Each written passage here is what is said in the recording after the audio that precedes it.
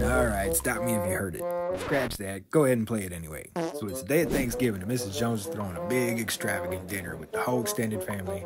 And wouldn't you know it, just she's taking that turkey out of the oven. Dog comes busting through the doggy door, trips her, she drops the turkey. Dog grabs the turkey, runs back out the doggy door, and in the blink of an eye, Thanksgiving's ruined.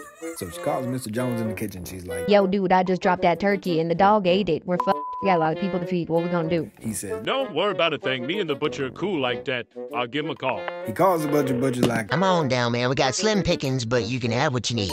so Mr. Jones gets to the butcher in a panic. He's like, What the hell you got, man? My wife's gonna freak out. he's like, The only thing I really got worth mentioning is this stuff over here. It's foreign. I'm not really sure how to pronounce it, but take a shot. he's like, All right, let's see. It's spelled G A W D D E M ham.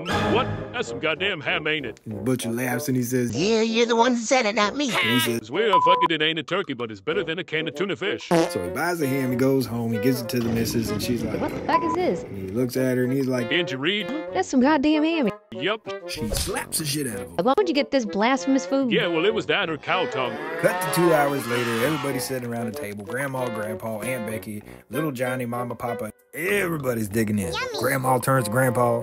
I really like this ham. Yeah, I like this ham too. Even Aunt Becky chimes in. Oh my god, it's amazing. What kind of ham is this? Mr. Jones proudly declares. Like, oh, I'm glad you asked. It's some goddamn ham. And then the mom's like, Yep, it's some goddamn ham. That's what it is. Just then, little Johnny, who's been taking his sweet time to assess the situation, finally decides to chime in with, Since everybody's in such good fucking spirits, how about you pass me some of them motherfucking potatoes? Hey.